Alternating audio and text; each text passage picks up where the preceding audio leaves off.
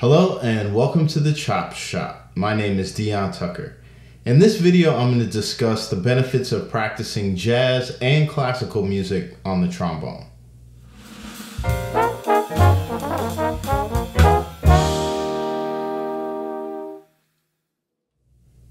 When learning to play the trombone, there's two styles of music that are at the foundation of most of our playing.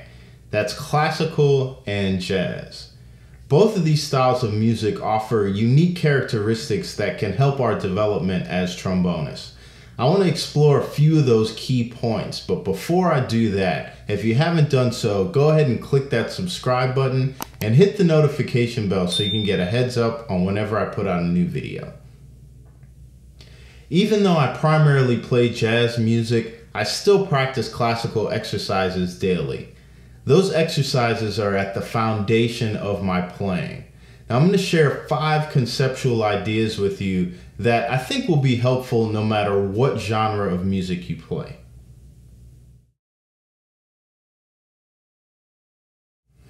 The first thing I want to talk about is sound no matter what genre of music you're playing, the quality of your sound is probably the most important aspect of your playing. In classical music, there's a great deal of emphasis placed on your sound, and rightfully so. Nine times out of ten, you'll be playing in an all acoustic setting, so it's important for you to have a nice, full, rich, resonant sound so that you can be heard in the back of the concert hall.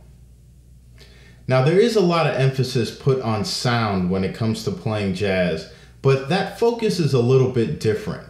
See, it's important to develop your own unique sound as a jazz player. So, as far as technique goes, you might lean in a more unorthodox direction when you're going about developing your own sound. No matter which genre you play, having a concept of what you want to sound like in your head first is just as important as what you do physically to get that sound out. So when it comes to sound, I say it's very important for you to develop your own sound in your head and let your body manifest what that sound is that you're hearing.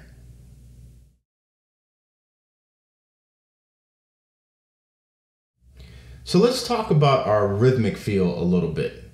Oftentimes, as jazz musicians, we'll play a piece of music that has multiple rhythmic feels throughout the song. Now, how we go about interpreting those different feels and how those rhythms are written can make all the difference to how the composer wants the piece of music to sound. For example, if I'm playing a big band chart and I see two eighth notes written and there's no articulation dictated, that could mean a lot of different things. Sometimes things are loosely notated on purpose because the composer wants to leave some space for the player to be able to interpret the line as they see fit. Now, in classical music, things are usually specifically notated. Now, a composer doesn't want you taking those individual freedoms, so they'll mark exactly what it is that they want to hear. Now, it's important to note that no matter what style of music you play, it's important to have the discipline to be able to play the proper articulation and rhythmic feel for that piece of music.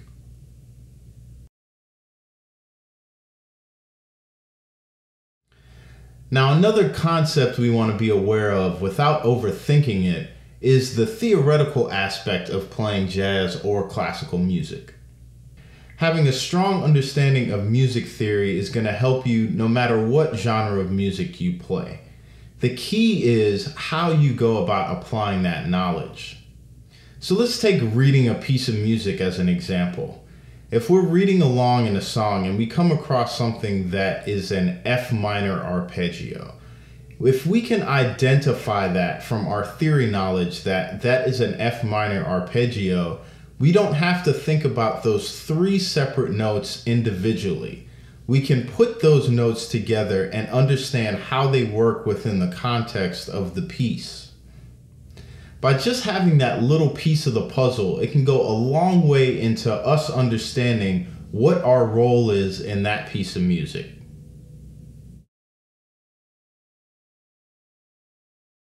Jazz and classical music both have a unique way of developing your ear.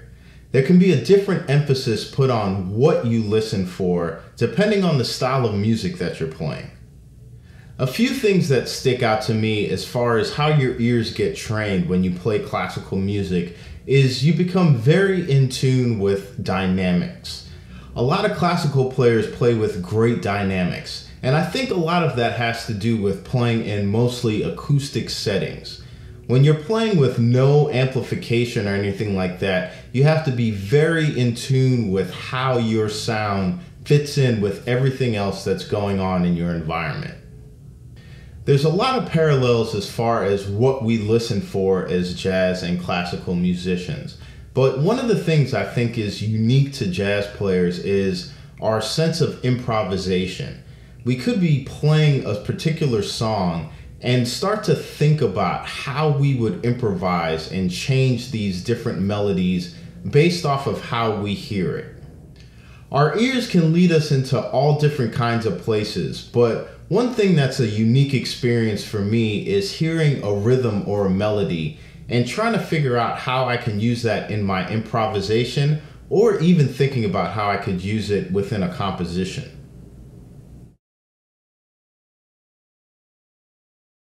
The last concept I want to look at is how jazz and classical music leave you the freedom to explore the instrument.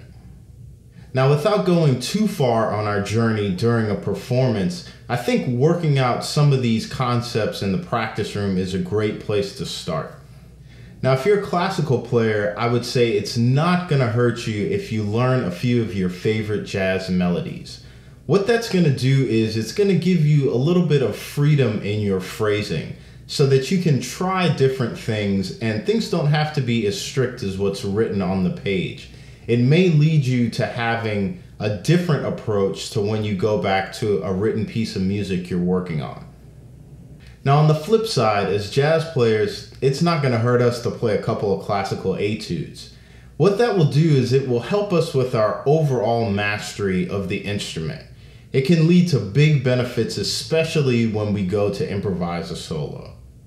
I think one of the biggest things that you can take away from this video is that whether you play classical or jazz, you're still just playing music. There's characteristics in both styles of music that can help elevate your overall musicianship.